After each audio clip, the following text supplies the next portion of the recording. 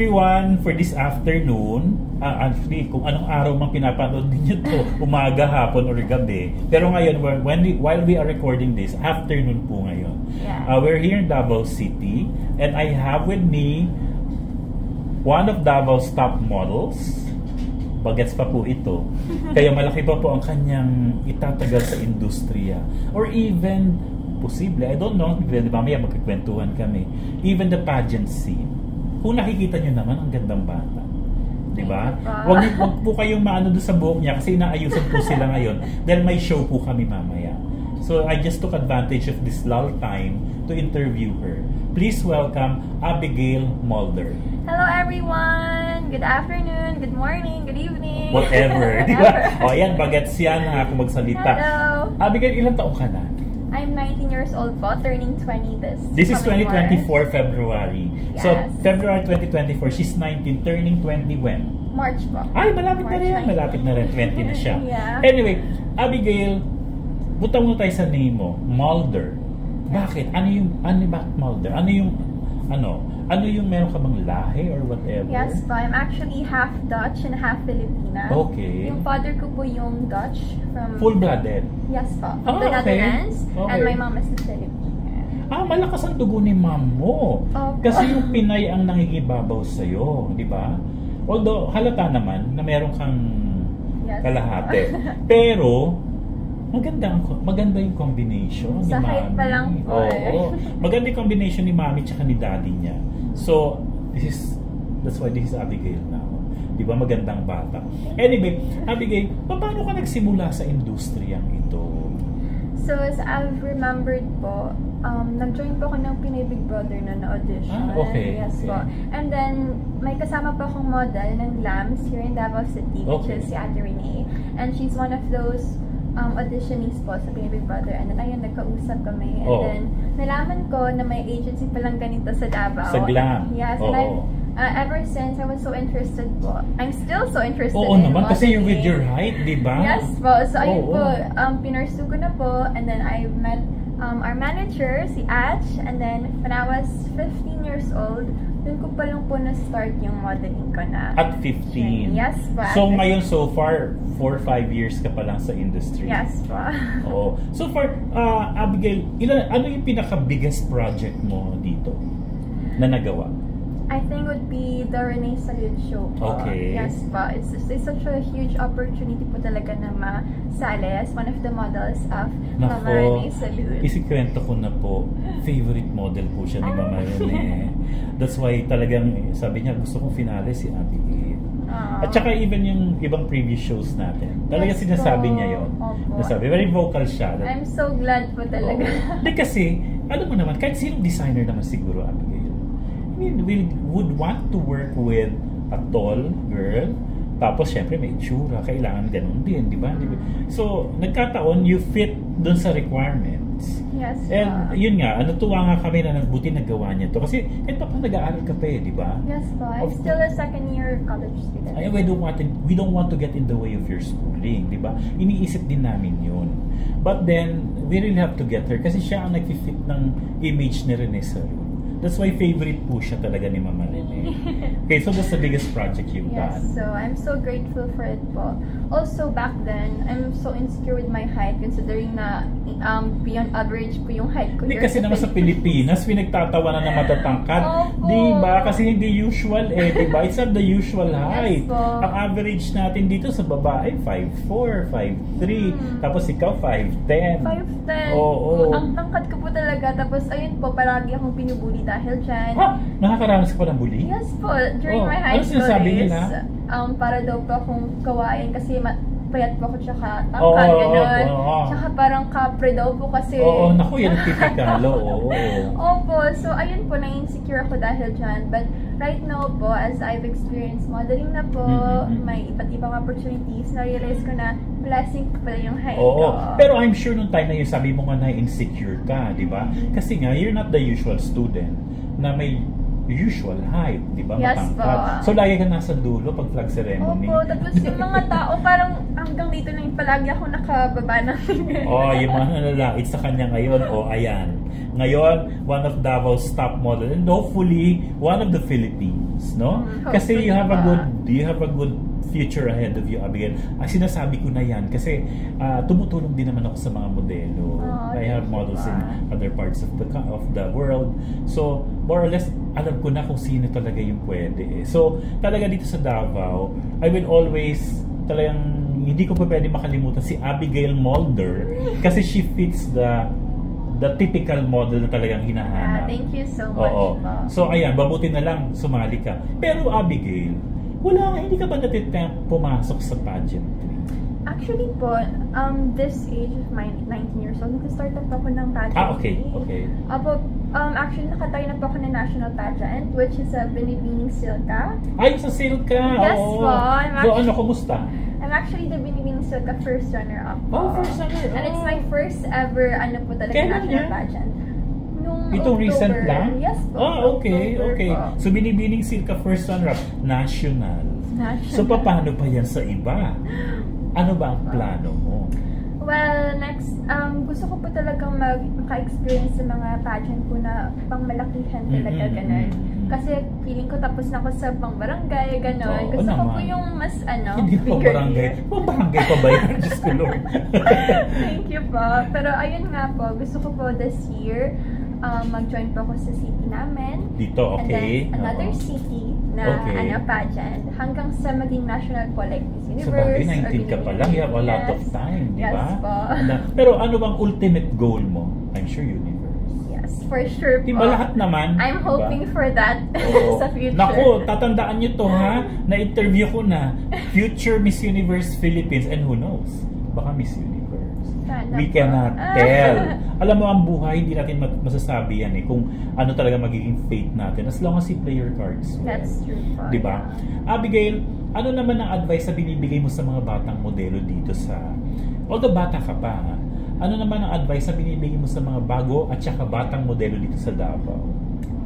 Um, from my experience po, based from my experience, hindi dapat talaga titigil sa mga opportunity. Always seek for an opportunity. If may darating, dapat kukunin mo talaga agad. Kasi hindi naman always may opportunity po. Kagaya ng mga screening for fashion shows. Mm. Kung malalaman mo na meron, diretso ka na kung sa tingin mong um, qualified ka, kung sa tingin mong narapat ka para doon. Kasi nakakatulong yun sa pangarap mo. And as for me po, as an inspiring model, someone who really wants to uh, achieve more in the modeling industry, gusto ko pong um, kunin lahat ng mga opportunities na connected dito kasi yun po yung pangarap Ano ko. sinasabi ng parents mo, ng family mo na you're busy with modeling tapos may plano ka pang open ka naman sa kanila, sinasabi yes, mo naman. I'm no? very open to it and they're really supportive po. Oo. Especially my mother. So okay naman sila that you have plans po. of joining yes, national. My mom is actually a single mom. Since Ah, okay lang.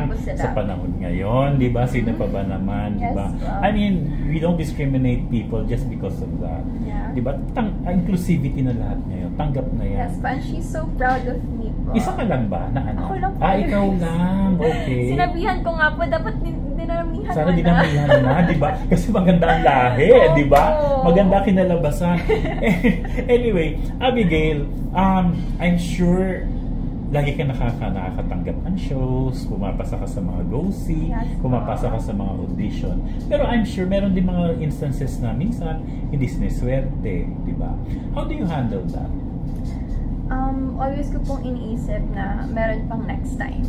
Opo. Tsaka yung mga mistakes ko na, na, na nagawa from that uh, specific screening or audition, um, ginagawa ko talaga lahat para mag-learn from it. Kasi in that way, I would be able to do my very best in the next uh, upcoming screening. At saka in that way po, mapasok na ako sa... Oh, tama, tama. Huwag kang mawalan ng ko. loob, di ba? Yes, Hindi po. frustrate ka na, ayoko na, di ba? Yung ganon, di ba?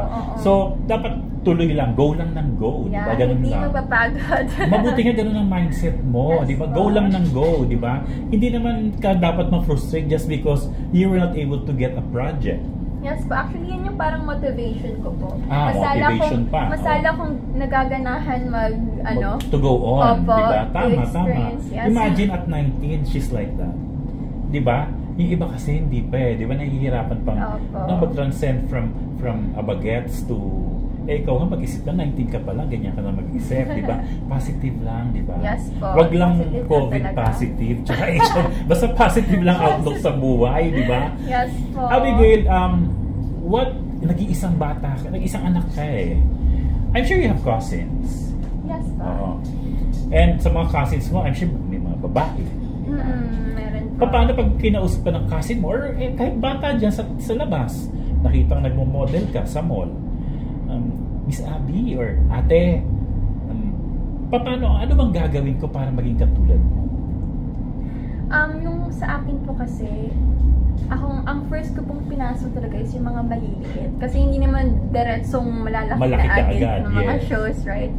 Ang sasabihin ko po niyan is, first, to go to any screenings or audition na sa tingin mo ay um, qualified ka or feeling mo mapapasok ka niyan. Kasi, syempre, pangarap mo yan. Kailangan mo talagang gawin lahat. Kahit pa, kahit pa sometimes nakaka, nakaka-insecure or nakaka-discourage dahil sa mga tao sa paligid mo.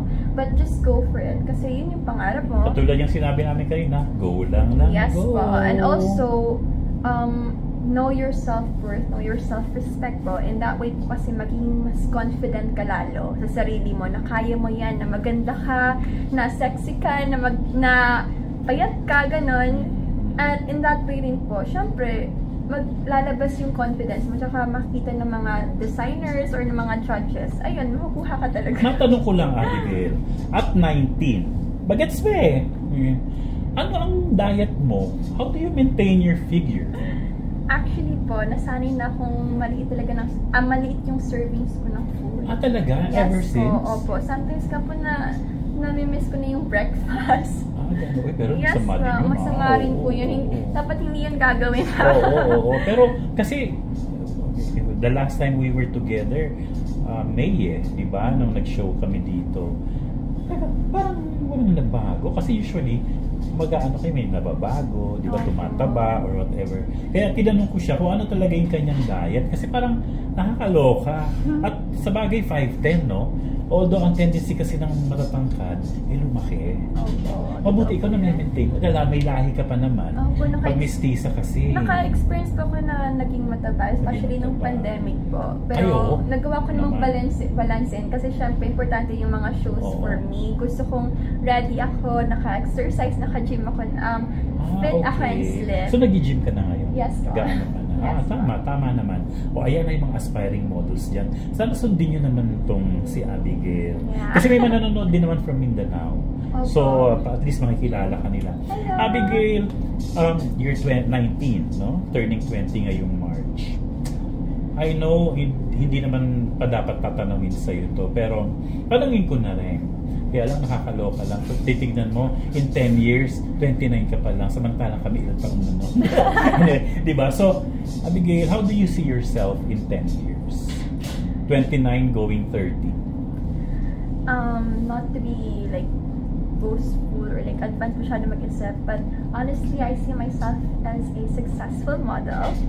I see myself as someone who have financial stability na and who can provide to my family to be able to have a house, a car, anything I'm really hoping um, ngayon pa lang for my future.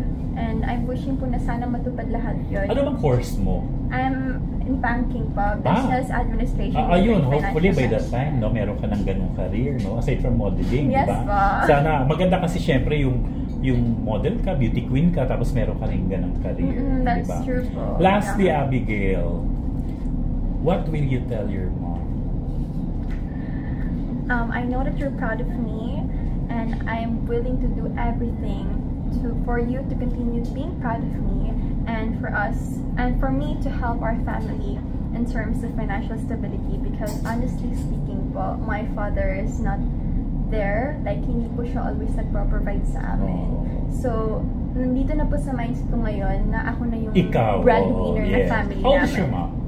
She's uh, 47 po. Mm, oh, medyo ano na rin. Yes. Bata pa naman.